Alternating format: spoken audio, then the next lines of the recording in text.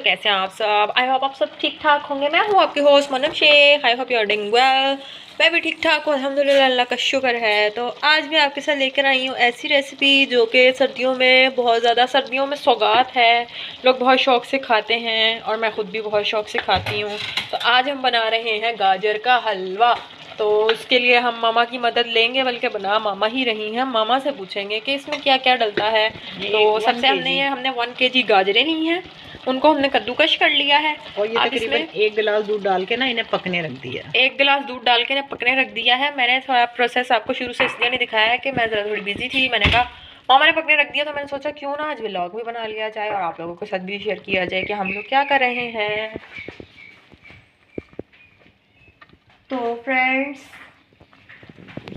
तो फ्रेंड्स ये देखें ये पक रहा है। इसमें हमने जो है ना इलायचियाँ डाल दी हैं छोटी इलायची। अब ये दो से तीन अदद इलायची डाल दी है। अब ये पकेगा जब पक के ये खुशक हो जाएगा ना तो फिर हम इसे आपसे मिलेंगे। और अभी तो इसकी फिनिशिंग होगी वो भी देसी घी में।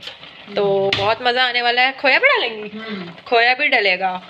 तो फ्रेंड्स अभी इसकी एंडिंग जो है ना वो थोड़ी देर तक होगी। और वैसे भी वीडियो लंबी हो जाएगी इसे पकने में भी टाइम लगेगा। तो चलें मिलते हैं एक छोटे से ब्रेक के बाद। फिर मैं आपको दिखाती हूँ इसकी क्या पोजीशन है। तो फ्रेंड्स ये देख सकते हैं हमारा हलवा हो चुका है तकरीबन रेडी अब हम इसमें एडिशन कर रहे हैं देसी घी की। ये हम डाल रहे हैं देसी घी। जम गया है ना सर्दी की वजह फ्रिज हाँ, में जो सर्दी की वजह से जम गया। वैसे भी फ्रिज में रखा हुआ था। हम्म। बहुत ही ज़बरदस्त खुशबू आ रही है देसी घी की।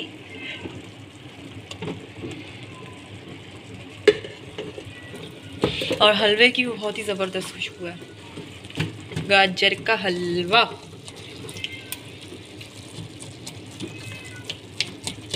सर्दियों की स्पेशल सौगात।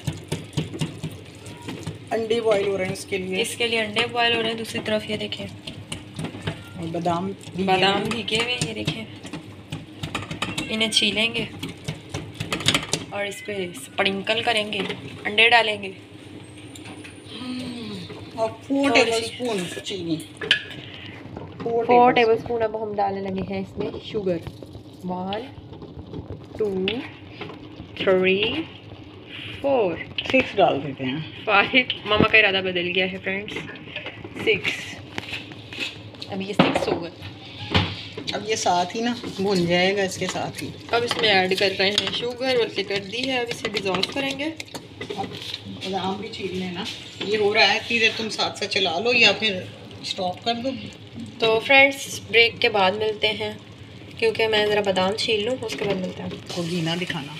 क्यों? हार्ट अटैक हो जाएगा जो घी कॉन्शियस होंगे ना हम्म। उन्हें। हमें क्या होता है? बस ये तो ये देखें ये सिचुएशन है। तो फ्रेंड सॉरी थोड़ा सा मेरी पर्सनल बात की आवाज़ आपको आ गई होगी। तो दोस्तों, अभी ये ना, इसमें मामा ने बताया कि इसको जितना, एक सेकंड थोड़ी सी ना, भाप आ रही है। ये अब देखें, अब शायद क्लियर नज़र आ रहा हो।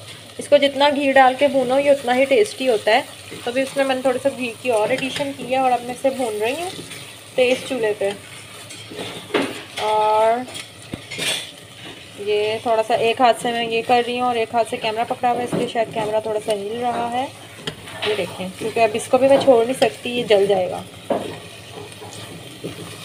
तो बस हो चुका है तकरीबन रेडी अंडा भी हमारा बॉयल हो चुका है, बादाम हमारे छिल चुके हैं। अब हम इसके करेंगे डिश आउट घी भी ऊपर आ रहा है। तो मुझे बहुत मज़ा आता है इस तरह चमचा चलाने में। तो मैंने ये काम मामा से ले लिया। मैंने कहा मैं चलाती हूँ। तो मिलते हैं अब इसको निकालने के बाद। डिश आउट करेंगे। डिश आउट फ्रेंड्स इसमें दो चम्मच जो है ना हमने टू टेबल स्पून ना नीडो के डाले हैं। हम्म, सूखा दूध। और ये भी दिखा दो ना। ये खोया है हमारे पास? अब हम खोया ऐड करेंगे इसमें। तकरीबन एंड पे ये अंडे हमारा अच्छा तरह से बॉयल हो चुके हैं। तो चलें अब। अब क्या करना बस अब अंडे। फाइनली फाइनली फाइनली फ्रेंड्स हमारा जो है लजीज गाजर का हलवा रेडी हो चुका है। देखिए कितना मज़ेदार लग रहा है। देखने में इतना मज़ेदार लग रहा है तो खाने में कितना मज़ेदार होगा। वैसे मैंने टेस्ट किया था, बहुत ही मज़े का बना है। तो आई होप मेरी आज की रेसिपी आप लोगों को बहुत पसंद आई होगी। पसंद आई है तो लाइक करें शेयर करें और सब्सक्राइब ज़रूर किया करें। बेल आइकन प्रेस करके रखें ताकि मेरी आने वाली हर वीडियो से आप लोग कनेक्टेड रहें, आप लोगों को नोटिफिकेशन आए। तो अब दे मुझे इजाज़त, मैं गरम गरम हलवा खाऊं। थैंक यू फॉर वॉचिंग अल्लाह हाफिज़।